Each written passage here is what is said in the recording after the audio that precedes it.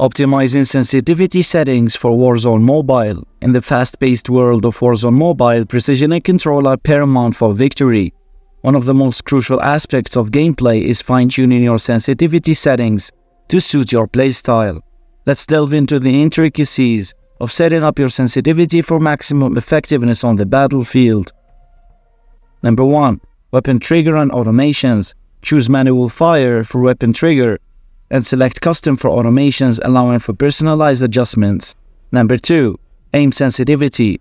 Horizontal. Set to 51 for improved horizontal aim and accuracy.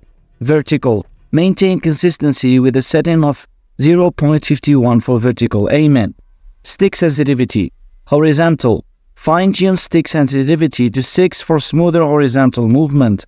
Vertical. Balance vertical movement with a setting of 5 for optimal control.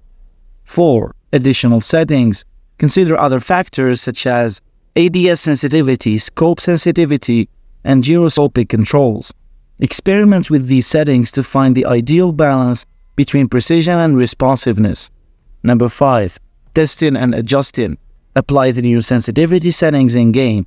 Spend time testing the adjustments in various scenarios to gauge effectiveness.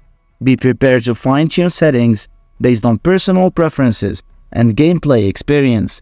By implementing these sensitivity settings, you can optimize your Warzone mobile gameplay for improved accuracy and control. Mastering sensitivity settings is key to dominating the battlefield in Warzone Mobile.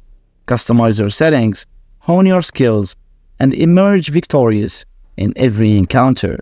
Thanks for watching guys, and don't forget to subscribe.